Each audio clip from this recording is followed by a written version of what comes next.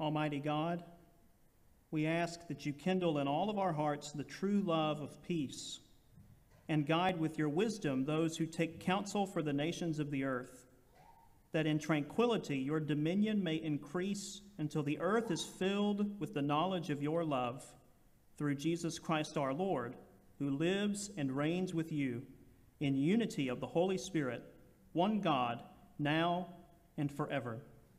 And now, Father, prepare our hearts, O Lord, to accept your word. Silence in us any voice but your own, that hearing we may also obey your will. Through Jesus Christ our Lord. Amen. In the invocation, we heard from Jeremiah chapter 30, verses 1 through 11. This is the opening passage in what is commonly known in Jeremiah as the Book of Consolation, a series of prophetic poems anticipating the time when God would redeem his exiled people, particularly the exiled nation of Judah. And it's more than appropriate for the Christmas season. In this passage, God promises to liberate his people from oppressive yokes, to restore them to himself, and to raise up a king from the line of David who will reign over them. All themes that we attend to during the season of Advent. But when I was reading over this passage in preparation for this week, the verse that caught my attention wasn't even a whole verse, but the first half of Jeremiah 30, verses 1 through 11. There, God says, For I am with you to save you, declares the Lord. And I couldn't shake it. Trying to read and gloss for some other things that I was trying to prepare for the service, but I just kept coming back to, I am with you to save you, and thought, yeah, yeah, that's it. If you need a little compact sermon for what Advent season is about, I am with you to save you, declares the Lord. It captures the hope of Advent season with sacred precision, summing up in just five Hebrew words. I love that about the Hebrew what countless sermons and reflections have tried to say, including the one you are about to hear. And for not saying very much, this verse manages to also say everything. And it's only natural that the Advent connection jumped off the page. The idea of God being with us is never as fresh on our minds as it is during this time of year. I imagine that many of us, when we hear the very expression, God with us, either think of Isaiah chapter 7, verse 14, or Matthew's words in his, the first chapter of his gospel. And these are those words. This is Matthew chapter 1. I'll read beginning in verse 18. Now, the birth of Jesus Christ took place in this way. When his mother Mary had been betrothed to Joseph, before they came together, she was found to be with child from the Holy Spirit. And her husband Joseph, being a just man and unwilling to put her to shame, resolved to divorce her quietly. But as he considered these things, behold, an angel of the Lord appeared to him in a dream, saying, Joseph, son of David, do not fear to take Mary as your wife, for that which is conceived in her is from the Holy Spirit. She will bear a son, and you shall call his name Jesus, for he will save his people from their sins. All this took place to fulfill what the Lord had spoken by the prophet Behold, the virgin shall conceive and bear a son, and they shall call his name Emmanuel, which means God with us. This is the word of the Lord. Notice how the with you to save you is present in the text. Matthew sums up the birth of Jesus by saying, All this took place to fulfill what the Lord had spoken by the prophet Isaiah. Behold, the virgin shall conceive and bear a son, and they shall call his name Emmanuel, which means God with us, with you. And right before this, an angel of the Lord appears to Joseph in a dream. There's those angels again, assuring him that Mary, his now pregnant fiancee, is not an adulteress as he feared, but that she has conceived a child by the power of the Holy Spirit. The angel then summarizes what this spirit born child is, who he is, and what he will do, saying, You shall call his name Jesus, for he will save his people from their sins. There's the to save you. Indeed, the name Jesus, in and of itself, means Yahweh, the Lord, saves. And now we know what he saves us from sin. With you to save you from sin. And this is all Matthew says. That's it. He just moves right on from here. Following paragraph begins Now, after Jesus was born in Bethlehem. Why so brief? Couldn't he have elaborated like Luke did? And of all the things to bring up, sin? I mean, Matthew almost sounds trite, typical religious jargon that is ignorant to the problems of the day. Don't we need more these days than another talking to on sin? I often feel that way. Don't you? We've heard the sin thing before, some of us since we were children. We need a message more relevant to the times one that addresses the prevalent concerns of our culture. And I think this is why many of us, if we're honest, gravitate to Luke's account of Jesus' birth instead of Matthew's. Luke is much more sensitive to the implications of Jesus' birth for matters of justice and for the outsiders and the overlooked. That's what we need. Enough of this sin talk. Now, I think, in general, that this comes from a good place, a well meaning place. We want to know, we're concerned to know the implications of the gospel for the nitty gritty of our real lives. And so we're just concerned for our community, is all. Well, Eugene Peterson doesn't think so. In his book, Christ Plays in 10,000 Places, Peterson thinks our hurry to address so called real issues doesn't reveal how virtuous we are, but it actually reveals a problem. The problem, he suggests, is, quote, that we happen to live in a culture that has a low sense of sin. We think we've got bigger problems than sin. Or worse, we just think sin's not that big of a deal. Now, maybe you're hearing this and you feel inclined to protest. I certainly did. You think that's not true, right? It can't be. We know the Bible verses especially the two in Romans, Romans 3:23, for all have sinned and fall short of the glory of God. And Romans 6:23, for the wages of sin is death. We know those.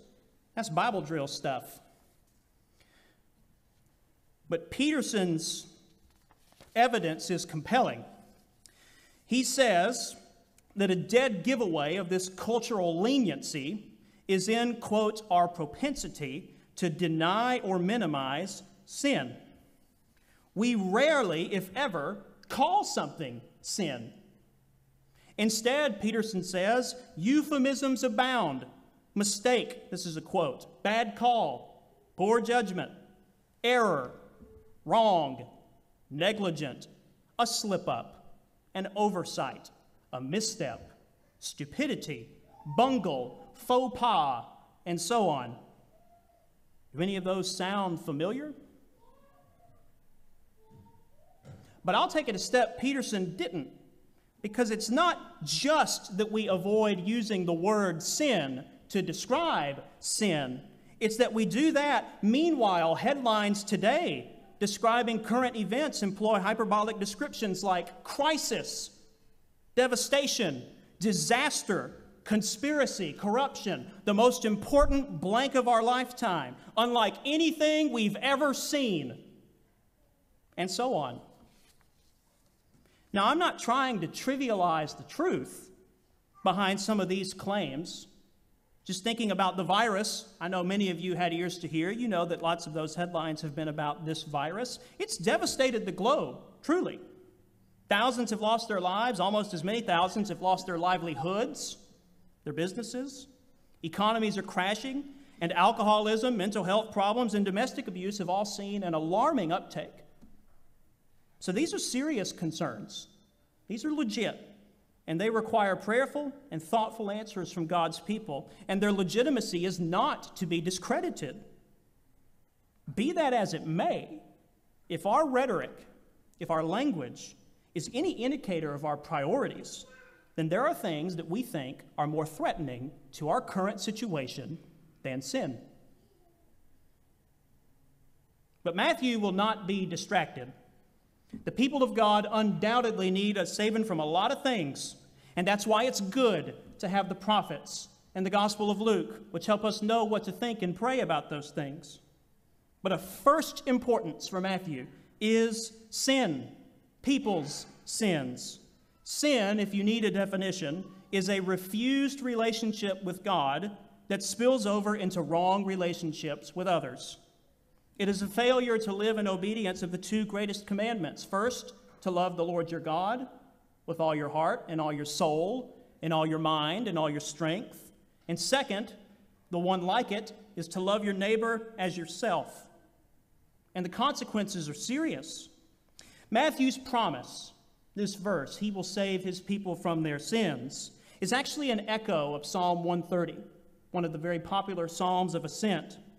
And the opening verses of the psalm capture the hopelessness of humanity and their sin. The psalmist says, Out of the depths I cry to you, O Lord. O Lord, hear my voice. Let your ears be attentive to the voice of my pleas for mercy. If you, O Lord, should mark iniquities, O Lord, who could stand? Sin plunges humanity and the world with it into a chaotic, lifeless abyss an abyss of deep darkness, the darkness of the shadow of death. And for all the effort, all the effort that we put in to try to minimize the severity of sin in our speech, God refuses to minimize the severity of sin in his judgment. The question, if you, O Lord, should mark iniquities, who could stand, is obviously rhetorical. The psalmist feels no need to provide a written answer because the answer is no one. And anyone who heard this psalm would have known that. No one. And seeing the horror of this reality for what it is, the psalmist cries, cries to God, pleads to God to hear his voice, to be attentive to his circumstances, to do something about this, about sin. Because if God doesn't do something about that, nothing else matters. But as is so typical in Psalms like this, the anguished plea of the psalmist shifts to a recollection of hope and of trust. See, the psalmist is confident that God will hear and that God will answer. He says, But with you there is forgiveness, that you may be feared. I wait for the Lord. My soul waits, and in his word I hope. My soul waits for the Lord more than the watchman in the morning more than the watchman in the morning. He repeats himself. O Israel, hope in the Lord, for with the Lord there is steadfast love, and with him is plentiful redemption, for he will redeem Israel from all his iniquities. And it's that final line, he will redeem Israel from all his iniquities, that Matthew echoes in his gospel, communicating to his readers and his hearers that the expectation of the psalmist has found fulfillment in the birth of Jesus. The Lord does not mark iniquities, and thank God for it. But with him is steadfast love, with him is plentiful redemption. God has heard the world's cries. Our souls don't need to wait for him any longer. The watchmen need not strain their eyes, scanning the darkness, because a new light has dawned. God is coming. God does not wait from afar for us to figure it out and He doesn't make us find the way to Him by ourselves. God comes, entering into the very depths from which we have cried, forgiving us of our constant refusal to have relationship with Him and to restore us not only to Himself, but thank God to one another. I am with you to save you, declares the Lord.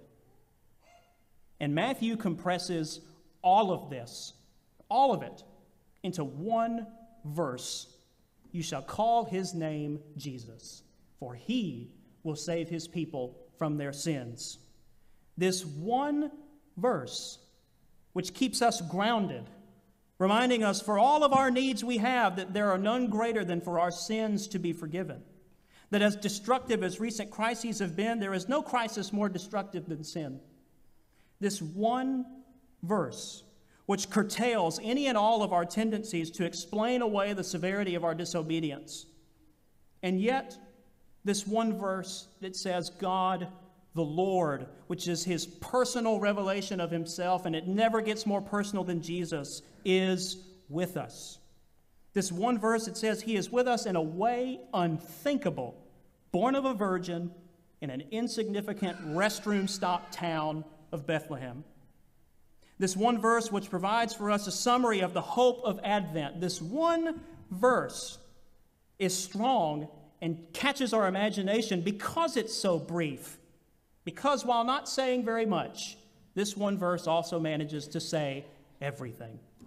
Amen.